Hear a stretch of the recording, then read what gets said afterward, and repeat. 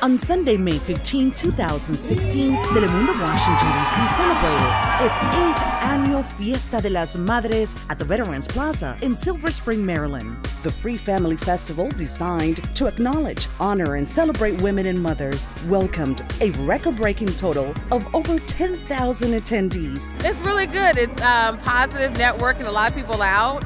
Uh, getting information that they need. We actually get to talk to customers and like interact with people, let them know what we have to offer. So it's actually pretty cool. The celebration kicked off with a ribbon cutting ceremony with the participation of Montgomery County Council members Nancy Navarro and George Leventhal, Governor's Office of Community Initiatives, Executive Director Steve McAdams, along with Maryland Attorney General Brian Frosh, who delivered remarks to the audience. Event attendees enjoyed the action packed stage and the presence of Telemundo Celebrities, including Jorge Luis Moreno from El Señor de los Cielos, Telemundo's hit novela, Erika de la Rosa from Eva la Trailera, was also present signing autographs and taking pictures with loyal fans.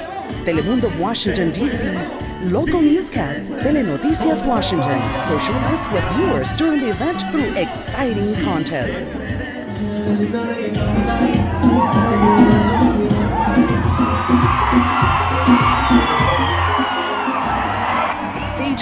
lineup included music from Ocho de Bastos, A Banda Show, and Julio Cuellar. The audience enjoyed performances from Los Quetzales Mexican dance group, La Banda El Pulgarcito, Pugarita Karate self-defense demonstrations, Arman Ugon fashion show, and more.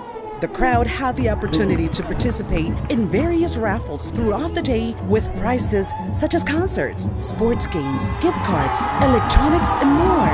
We have um, everyone taking pictures with different hats and little glasses. And we're also talking to everybody here about the different data plans and phone plans that we have. For the second consecutive time, the event concluded with a DARCARS Nissan giveaway. Jorge Vargas of Wheaton, Maryland, drove away with a Nissan Versa 2016. It's just a great way for us to interact with the Hispanic community and really give back to a community that really supports our business.